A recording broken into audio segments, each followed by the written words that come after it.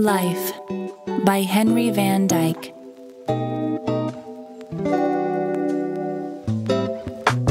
Let me but live my life from year to year with forward face and unreluctant soul. Not hurrying to nor turning from the goal. Not mourning for the things that disappear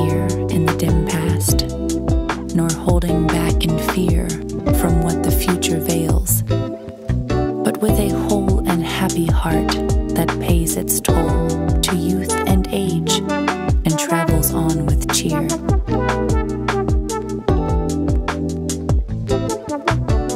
So let the way wind up the hill or down, or rough or smooth, the journey will be joy, still seeking what I sought when but a boy.